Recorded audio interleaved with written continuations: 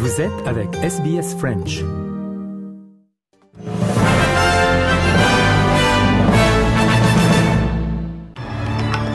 À la une de l'actualité de ce jeudi 13 juin, le président français Emmanuel Macron a défendu mercredi son choix de dissoudre l'Assemblée nationale et de convoquer de nouvelles élections législatives. Lors d'une conférence de presse, il a appelé à un large rassemblement autour de la majorité pour contrer les extrêmes. À gauche comme à droite, la bataille des alliances est lancée. L'espoir d'un cessez-le-feu à Gaza reste fragile ce jeudi. Les États-Unis estiment que certaines revendications du Hamas suite à la proposition de cessez-le-feu de Washington acceptée par Israël ne sont pas réalisables. Et puis en Australie, le gouvernement fédéral continue de serrer la vis en matière d'immigration. De nouvelles mesures doivent entrer en vigueur le 1er juillet pour empêcher les personnes déjà présentes sur son sol en visa touriste d'effectuer un visa étudiant pour rester en Australie.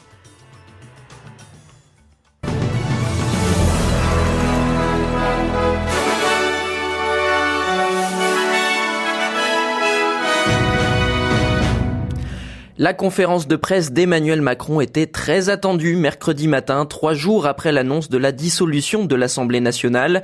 Le président de la République a tenu à justifier sa décision prise au soir de la débâcle du parti de la majorité aux élections européennes. Il a assuré ne pas pouvoir rester indifférent au message des Français et a appelé au rassemblement de tous ceux qui défendent sans ambiguïté les valeurs de la République pour faire face aux extrêmes lors des législatives. Un discours assurément aux allures de campagne pour le scrutin du 30 juin. À l'extrême droite, on nous explique qu'il faut choisir entre l'écologie et l'économie. C'est un renoncement au projet écologique. C'est ça l'extrême droite. Et la droite qui s'allie à elle. À l'extrême droite, il n'y a pas de projet de renforcement économique parce qu'il y a l'abandon de tout ce qui fonde l'attractivité du pays, la capacité à garder des investisseurs. Quant à l'extrême gauche, par sa politique de taxation totalement déraisonnable, par sa politique de sortie du nucléaire, encore défendue par une majorité de ceux qui aujourd'hui constituent cette alliance, elle est tout à la fois l'impossibilité de suivre un chemin écologique crédible et l'affaiblissement, là aussi, du pays. Et à droite comme à gauche, les partis politiques tentent de nouer des alliances pour tenter de s'assurer la majorité lors des élections législatives. Dans un élan pour faire face à l'extrême droite, les partis de gauche réunis sous la bannière du nouveau Front populaire ont trouvé un accord de principe au sujet de la répartition des 577 circonscriptions pour le scrutin. La France insoumise en obtient le plus devant le Parti socialiste, les écologistes et le Parti communiste. À droite, la journée a été marquée hier par l'exclusion du président des Républicains, Éric Ciotti, par le bureau politique de son parti. Le député des Alpes-Maritimes avait appelé à faire alliance avec le Rassemblement national pour les législatives, une décision qui a scandalisé au sein du parti de nombreux membres appelant à sa démission. Malgré la décision du bureau du parti, Éric Ciotti conteste et s'estime victime d'un putsch. On l'écoute. Je suis président des Républicains et je le reste les militants m'ont élu et seuls les militants pourraient euh, me refuser cette légitimité. Est-ce que vous êtes victime d'un putsch Juridiquement, oui, en tout cas. Et autre exclusion ce mercredi à l'extrême droite, le président du parti euh, d'extrême droite Reconquête, Éric Zemmour, a annoncé l'exclusion de Marion Maréchal du parti. La nièce de Marine Le Pen, tête de liste de Reconquête pour les élections européennes, avait appelé à voter pour les candidats du Rassemblement national lors des élections législatives anticipées. La réforme constitutionnelle sur le dégel du corps électoral en Nouvelle-Calédonie a été suspendue hier par le président français Emmanuel Macron, une conséquence directe du contexte politique en France après la dissolution de l'Assemblée nationale.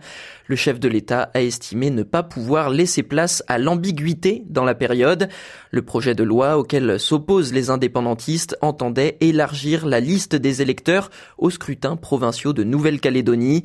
Son annonce a provoqué des violences sans précédent depuis les années 1980 sur le territoire. Neuf personnes sont décédées depuis le 13 mai. Les modifications souhaitées par le Hamas dans la proposition américaine de cesser le feu à Gaza ne sont pas réalisables, estime, Washington. Mercredi, le secrétaire d'État américain Anthony Blinken a déclaré que certaines modifications proposées par le mouvement islamiste palestinien ne pouvaient être respectées.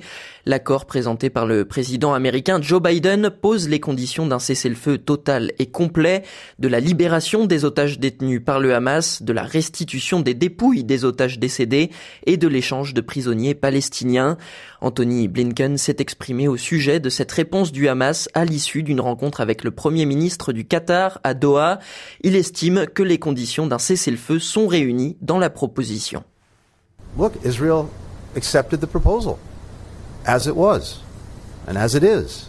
Hamas didn't. So I think it's pretty clear what uh, what needs to happen. And we're determined in the, in the coming days to, again, try to work this. We will work this with urgency and see if the gaps that, that are, are workable, we can actually work and bring it to conclusion. Le président des États-Unis, Joe Biden, se rend lui en Italie ce jeudi à l'occasion de l'ouverture du G7, dont les dirigeants ont annoncé mercredi avoir trouvé un accord sur le décaissement de 50 milliards de dollars pour l'Ukraine via l'utilisation d'actifs russes gelés. Le président américain doit lui également signer un nouvel accord de sécurité avec l'Ukraine lors de ce sommet du G7. Le conseiller à la sécurité nationale de la Maison Blanche, Jake Sullivan, affirme que cet accord va assurer le soutien des États-Unis sur le long terme à l'Ukraine en matière de défense et de sécurité. Our goal here is straightforward. We want to demonstrate that the U.S. supports the people of Ukraine, that we stand with them, and that we'll continue to help address their security needs, not just tomorrow, but out into the future.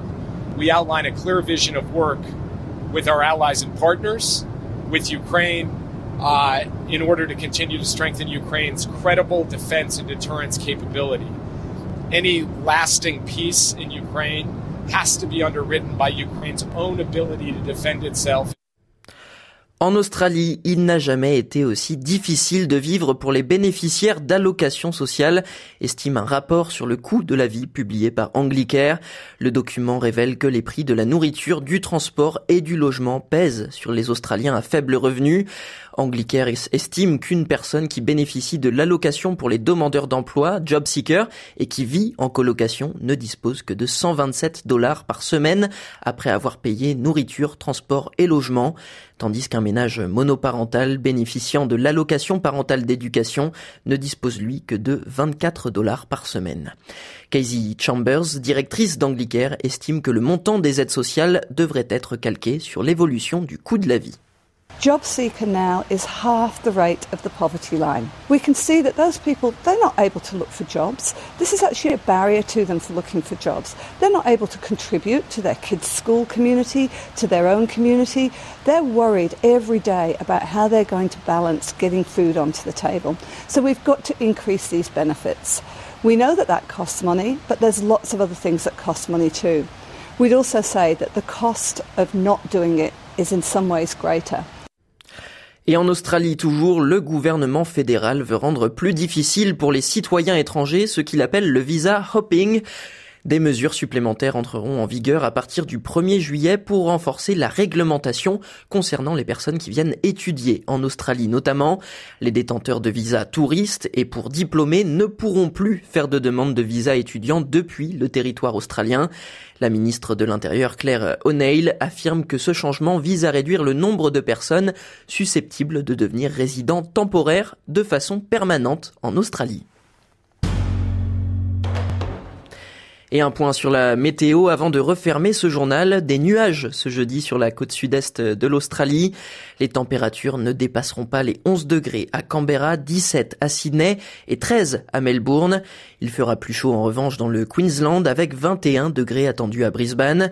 Une journée ensoleillée également du côté de Cairns avec un thermomètre qui grimpera jusqu'à 28 degrés.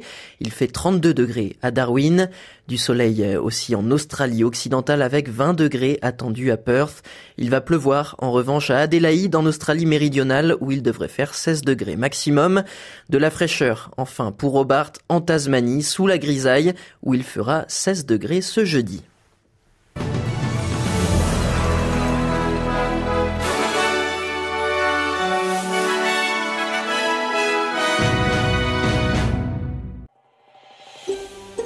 Vous voulez entendre d'autres rubriques comme celle-ci?